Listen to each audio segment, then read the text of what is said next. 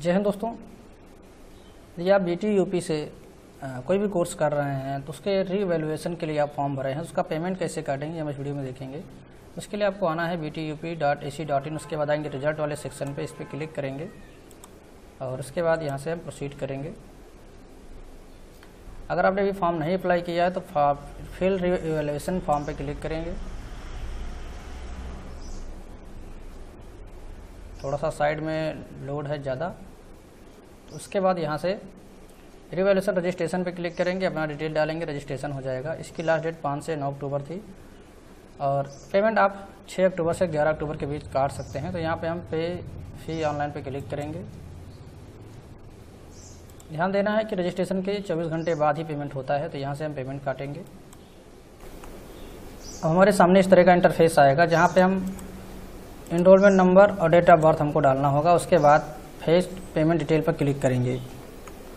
ध्यान देना date of birth आपको यहाँ पे बिना किसी अब्लिक के या फिर स्लैश में अपलोड करना है। जिस तरह से आप फॉर्मेट दिया है D D M M Y Y Y Y इस तरह से डालेंगे डेट ऑफ़ बर्थ उसके बाद यहाँ मोबाइल नंबर डालेंगे रिमार्क में आप फ़ी डाल देंगे। उसके बाद यहाँ पे इंडिविजुअल में अपना नाम डेट ऑफ़ बर्थ यहाँ पे आपको अब्लिक चूज़ करना है। उसके बाद मोबाइल नंबर डाल के ईमेल आईडी डाल के यहाँ पे चेक बॉक्स पे क्लिक करेंगे। और कैप्चा कोड डाल के हम नेक्स्ट पर क्लिक करेंगे।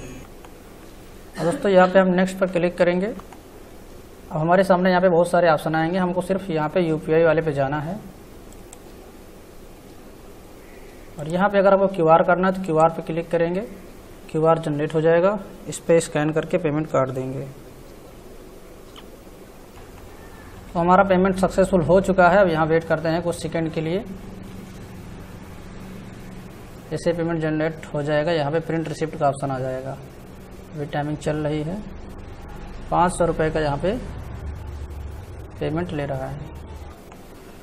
तो दोस्तों, हमारा पेमेंट हो चुका है। हमको यहाँ पे नीचे आएँगे तो प्रिंट का ऑप्शन मिलेगा फिर डाउनलोड का ऑप्शन मिलेगा। इस पर क्लिक करके इसको डाउनलोड कर लेंगे और अपने पास प्रिंट करके या फिर सेव करके रख लेंगे।